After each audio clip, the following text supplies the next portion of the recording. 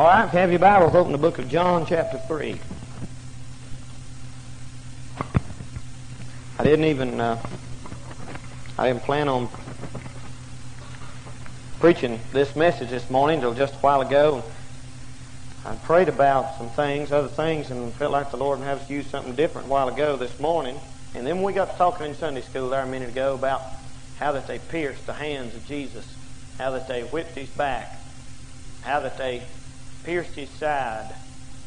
I'll tell you something, folks, we should never, ever get over that. The Son of God loved us and gave himself for us. Get me down just a hair, Brian. We should never get over the fact what Jesus said when he said, My sheep know me, they hear my voice. I'm the good shepherd that gives his life for the sheep. And you personally will be a better Christian if every day in your secret prayer time or when you spend time alone in prayer, try to really take that thing personal. Try to try to get to the place where you personally appreciate the Lord Jesus dying for you, going to the cross, paying for your sins that you could be saved. So many times we try to pray other people's prayers. So many times we try to believe on other people's feats and go on other people's faiths. And we say, well, they got the victory, so the Lord must be moving. But we ought to have a personal relationship with the Lord. All the way through the Bible, that's how He works, in a personal way. I'd like to read the most well-loved, uh, probably the greatest verse in the Bible, John 3, verse 16. Probably the greatest verse in the Word of God, if you want to look at it that way. John 3, verse 16. For God so loved the world that he gave his only begotten Son, that whosoever believeth in him should not perish, but have everlasting life. I want to preach to you just a few minutes this morning on the greatest gift ever given. Let's bow our heads while we pray. Our Heavenly Father, we thank you, Lord, for this day. Thank you for our health. Thank you for our strength. Thank you for all the many, many, many blessings of life.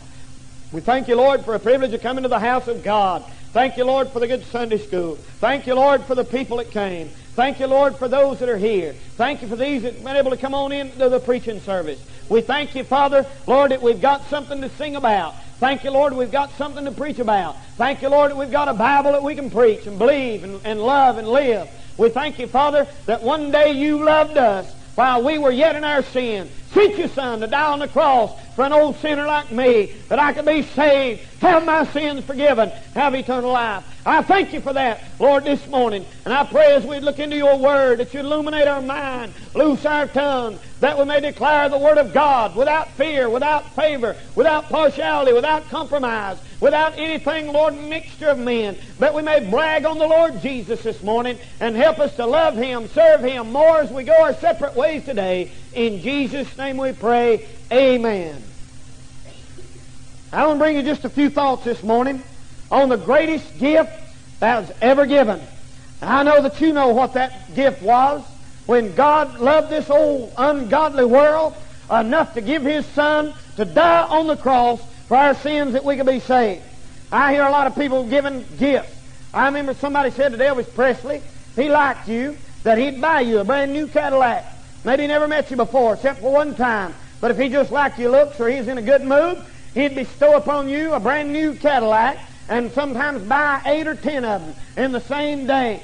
And people thought, my, what would it be like to be around somebody like that? Just somebody to give you something for nothing. Just walk out and give you something. Somebody said that some old nut millionaire went out on the street in New York and was dropping off $20 bills off the buildings, you know. They was floating down and people just getting all excited and it's in the newspaper. And oh, they said, how could a man give something that away? But wouldn't it be wonderful this morning if we could get that excited about the greatest gift ever given? More than just a Cadillac or more than just $20 bills. A Cadillac's going to last a few years and it'll be gone. $20 bill, you can spend that in five seconds and it'll be gone. But the gift that I'm talking about today is a gift that lasts from time and eternity. The greatest gift ever given was when God Almighty let His Son come down here to this earth of sin and shame and put on the likeness of sinful flesh when me and you was out there living in our sin and cussing, taking God's name in vain. And, and some people living in adultery and shacking up and uh, drugs and alcohol. And God letting His Son die to save an old bunch like us. That was the greatest gift ever given in this world. You think about it this morning, friend. If God hadn't have gave His Son, you would have still been in your sin and going to a hell fire to burn forever. We'd have been going to burn forever. But hallelujah! Thank God His name this morning and praise the name of the Lord. I'm not going to hell because God loved me. I'm not going to heaven because I'm a Baptist, because I'm a preacher. I'm going to heaven because God loved me. Old Danny Castle, when not many people did. My mom did, my daddy did, my family did, but outside of that, I can't think of five people that really loved me before I got saved. But thank God he did. I want you to notice this morning, you know that little poem, Mary Had a Little Lamb? She sure did, brother. His name was Jesus. He's born in Bethlehem. He was the Lamb of God that take away the sin of the world. He had no earthly father. Jesus was born of a virgin. He had no, uh, without the earth, uh, human instrument of a human father. Some old modern day theologian said he didn't believe that. He said, I don't see that's impossibility. It's a biological impossibility that Jesus Christ could be born without the aid of a human father. And he said, you believe the Bible? And he said, yeah, you know, talk about Adam and Eve. And he said, man, that ain't nothing. The virgin birth is not near a big a miracle as the first Adam. The first Adam got here without a mother or a father. It ain't no problem for Jesus to get here without just a human father. God made Adam and Eve without a father or a mother. And brother, he gave his son, born of a virgin, to come into this world. I want you to notice a couple of things about this right briefly this morning. Number one, the giver of this gift. Who is the giver in this picture this morning? The Bible said, For God so loved the world that he, God, gave. God so loved. Our preacher used to tell us at Nebo, he said, You'll never be able to comprehend how much love is in that little word so. How much did he love, preacher? The Bible said that he so loved. How much is that? I don't know, but it's a lot of love in that little word so. God so loved. How much did he love, Brother Danny? He so loved the world. I don't know how much love that is, but it's a lot of love that he gave. The giver of this gift is God himself, the Father, the Creator. Have you ever wondered what God done before he ever made the world? I have. You know, God's always been here. And the world, human population, ain't but about 6,000 years old. The world itself could be older, but the population is only about 6,000 years. I wonder what God done all them millions and billions of eons and trillions and billions of years before ever decided to make the earth. I don't know. Maybe the Lord had something else to do. Maybe he's doing, maybe working on something else. Maybe he just was God in space. I don't understand. But isn't it amazing that the creator of all things the, the mind that knows everything, the mind who made this vast universe, He's the one that gave us the gift. God Almighty Himself, Creator, the Father and the uh, Creator of this universe. Now, God is the Father of all men only in the sense that He's the Creator. There's no such thing in the Bible as the brotherhood of man and the fatherhood of God in the sense that everybody being God's child.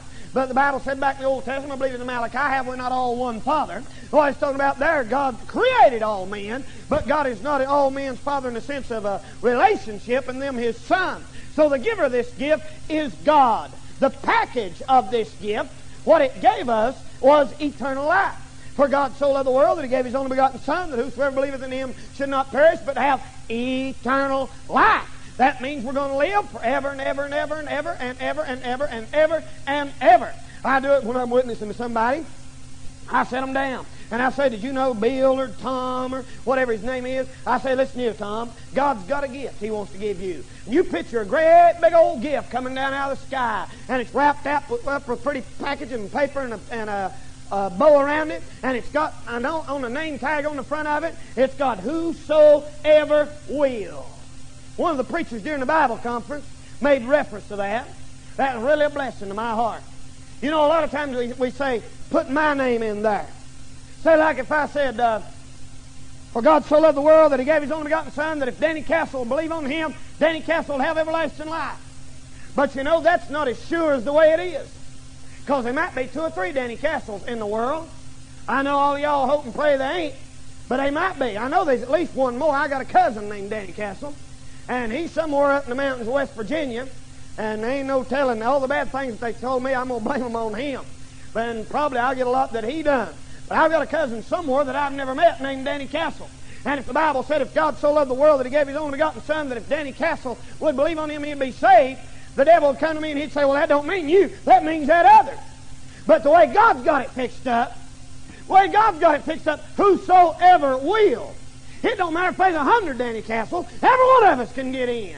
Every one of us can come to an old altar, find peace to our soul, get our sins forgiven, have our name in the book of life. God so loved the world, He give us eternal life. If you're here this morning and you've not got eternal life, you can have it. It is a gift. You don't earn it. You don't work for it. You don't get baptized for it. You don't join a church for it. God gives a man eternal life, and you get it by believing and accepting it. Amen. Not only that, but the person of this gift. The person of this gift is, of course, the Lord Jesus Himself. For God so loved the world that He gave what? Who? His only begotten Son. What if your son had to die for one of your worst hated, dreaded enemies? Not many people would be willing to let their son, their only son, their only child, die in the stead of their enemies. Not many people would be willing to do that, but God did. God so loved the world that He gave His Son, His Son, His Son. Not only that, but His only Son. Not only that, but His only begotten Son. What does that mean, preacher? That means that Jesus was the only Son that God begot with God's blood, with God's power, with God's nature in Him. Jesus Christ is the only begotten Son of God, the person of this gift. What if I worked hard? Well, let's just say me and my wife there, say we was dating before we got married. And I worked, and I worked, and I worked my fingers to the bone. And I worked overtime. And I was going to try to buy her a, a diamond ring. And I couldn't wait. And every time when I'd get around her, I'd want to tell her that she's going to get it, but I, would hold, I'd hold it, you know, so she wouldn't know it, and it'd be a surprise. And I'd go every time I'd get my paycheck, I'd take 80% of what I make and pay it on that ring. And you know, I'd just keep out enough for gas, just enough to get me something to eat. Every dime I got, every bit of it, wouldn't spare. Give it all on that ring. Boy, the day come me to finally get that thing out. I'd done without clothes. Maybe I'd done without food. Maybe I'd done without some necessity to buy this thing for her. The day come, I'd go up there at the drug uh, jewelry store, and I'd want that thing out. And I'd say, oh, I'd come out to my ring, buddy. I'd say, there's the last payment on that thing and he'd give me that thing in a little old box. I'd get that thing wrapped up and make a beautiful gift out of it. I've thought about this a lot of times. And boy, my heart would be a doing 90 mile an hour. And I'd say, well, it's got to be just right. What night shall I choose? Will it be Thursday night? Will it be Friday night? Will it be, you know, the timing's got to be right. Everything's got to be right. Where are you going to do it? Are you going to do it in the car? Are you going to do it in the porch? Are you going to do it at the restaurant? Are you going to do it, uh, uh, you know, in, out in the pasture? Are you going to do it uh, wherever you might be. And everything's got to be right. You're going to give somebody a gift that means more to you than anything you've ever done in your life. Brother, I begin to to her and I say, now listen, honey, I've got something here for you. I, I, I, I hope you'll love it. I hope you'll accept it. And brother, I've put my life's blood and sweat into that thing. About that time I show it to her. I say, well, here, what do you think? She looks at it and says, oh, that's nice. I expect her to start crying. I expect her to bring tears to her eyes. I expect her to, to uh, really break down and say, Oh, Danny, you shouldn't have, and all that kind of thing. But instead, she says, I appreciate it, but I just don't think I can accept it. And I say, What? What? You can't accept it? How come? How come? And I want to know. And about that time, she pulls her in. She's got a little old cheek, one of them little old shiny dime store rings with real green. And brother, you tell that thing didn't cost 15 cents. And she said, old Tom over here, he let me have this one just yesterday. And I know, happen to know old Tom, and he's a bum. He runs around with every girl in the country. He's a liar. He just used them. He ain't fit to kill. And here I have given her my very best.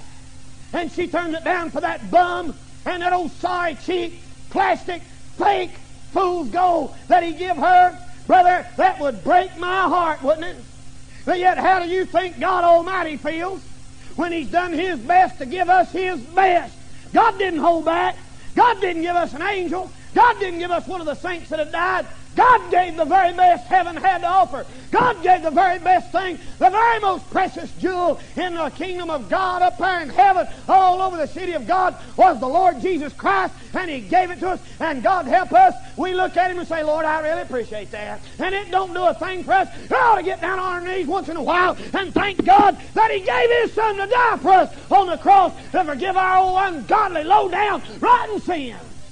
A lot of time we got a little old cheap ring the devil gives us. And we say, well, God, I like to drink beer. And the devil give me a little old cheap ring. And I'm just going to serve him. And we break the heart of God. He knows what a low-down scoundrel the devil is. He knows the devil don't give you nothing but fool's gold. He knows the devil will give you marijuana and he'll give you sin. And he'll give you a big time. But the devil don't care nothing about you. God's the one that give you his very best. Everybody in here, you don't know to have to fuss at people to get them to come to church. They'd realize how much God loved them. I ought not to have to fuss at y'all to get you to read the Bible. I ought not to have to preach till you get you to pray. If you realize that God loved you to give His very best, it'd do a lot for you.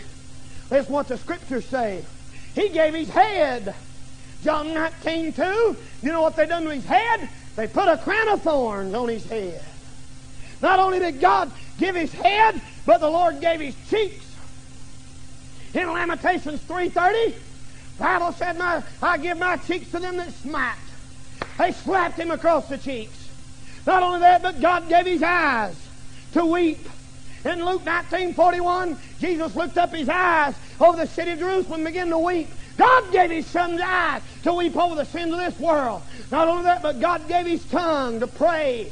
Luke 23, he prayed, never, Father, not my will, but thine be done. And Father, forgive them, for they know not what to do. God gave his tongue to pray. He gave his back to be beaten in Psalm 129. Somebody mentioned it in Sunday school about his back. In Psalm 129, verse 3, they, they made plow furrows up his back. It was like a man takes a plow and when, when the mule pulls it, that plow just cuts down into the ground and begins to cut, open up that ground for the garden. They plowed up the Lord Jesus Christ's back. They went down into his flesh, and when that cat of nine tails jerked that thing back, and that plow dug down into his flesh and up his back, and brother, I don't hate to be a preaching like this, but a lot of time we're too sorry to even read the Bible. We're too sorry to visit. We're too sorry to pray. Actually, let him rip his guts out of his back and loved us that much. We ought to love him back. Not only that, but he gave his side to be pierced. John 19, 34 said they stuck a spear in his side and they pierced his side and blood came out of it. He gave his hands and feet. Psalm 22, 16 said they pierced my hands and my feet. He gave his blood. 1 Peter 1, 18 said you're not redeemed with corruptible things, silver and gold, but with the precious blood of Christ as of a lamb without blemish and without spot. And he gave his life for all. Romans 6.23, for the wages of sin is death, but the gift of God is eternal life through Jesus Christ our Lord. God loved the world. He gave his head, he gave his cheeks, he gave his eyes, he gave his tongue, he gave his back, he gave his side, he gave his hands, he gave his feet, and spilled out his blood for you and me to be saved. Thank God for such a wonderful gift. Let's bow our heads for a word of prayer. Amen. Father, we pray this morning in Jesus' name. God, that you would help us to love you. God, I pray you'll forgive us for being sorry and no good and low down. Lord, forgive us for pouting. Forgive us, Lord, for being discouraged. God, forgive us, Lord, when we don't do as we ought to do. God, I pray that we'd love you and honor you and serve you. What a privilege is ours to lift up the blood-stained banner to the lost and dying world. Tell them that Jesus saves. Oh, God, help us to be faithful to you till you come. Lord, God, help us this morning, even as we walk out of these doors, to spend time in, with you this afternoon. Help every person here to settle it in their hearts right now, to go home and pray and read the Word of God and seek your face and God move in their individual lives. Lord God, I pray that you'd help us. Help us to love you. Help us to serve you. Help us, Lord, to do what you want us to. We'll praise you and thank you for it. While your heads are still bowed and eyes are still closed. We're not going to sing this morning, have any music. I wonder right quick before we go, would there be somebody here that say, Brother Danny, I'm not saved. My life's in a mess. And I know that Jesus loved me enough to die for me. And I ought to love him. Would you pray for me? Would you slip up your hand and take it right back down? We're going to pray for you this morning. I don't know. There may be one here. I don't know. But if they are, we'd like to pray for you this morning. All right? Our Father, we pray that, Lord, that we that are saved would, would take this message to heart. Lord, that we'd love you, honor you, and serve